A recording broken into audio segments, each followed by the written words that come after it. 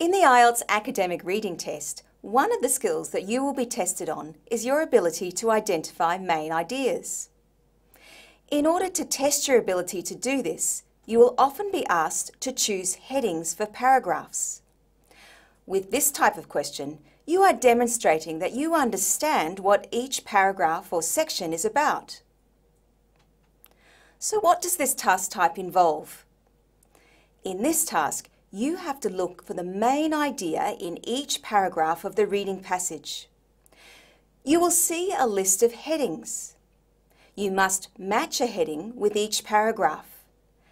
The heading should express the main idea of the paragraph.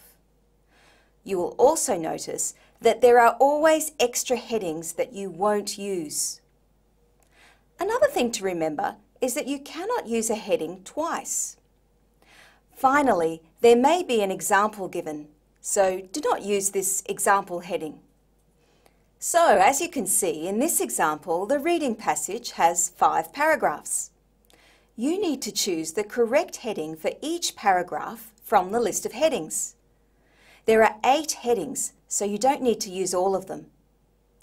As you'll also notice, there is an example heading given for paragraph C. So what is the best way to approach this task? Well, first of all, look at the list of headings and underline the key words. Check if any of the headings are given as examples. If they are, cross them out so that you are not tempted to use them. Then, go to the reading text and read the first paragraph, underlining the key words and the topic sentence if you can find one. Try to sum up the main idea of the paragraph in your head. Then go back to the list of headings and choose the one that best matches the main idea of that paragraph. Write the number of this heading on your answer sheet. If you find more than one match, make a note of them and decide on the best one at the end.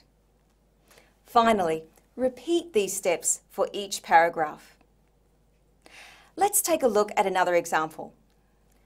Spend about 30 seconds reading the text. In particular, focus on the topic sentence and key words throughout the paragraph. In this example, you have three possible headings. All of them look possible.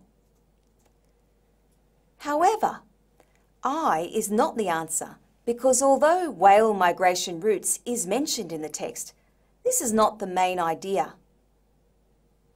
Similarly, option 3 is not correct because again, how whale songs are recorded is mentioned in the text, but this is also not the main idea of the paragraph. In this case, option 2 is the correct answer. This heading best summarises the main idea of the paragraph. Now it's your turn to practice matching the correct headings to paragraphs.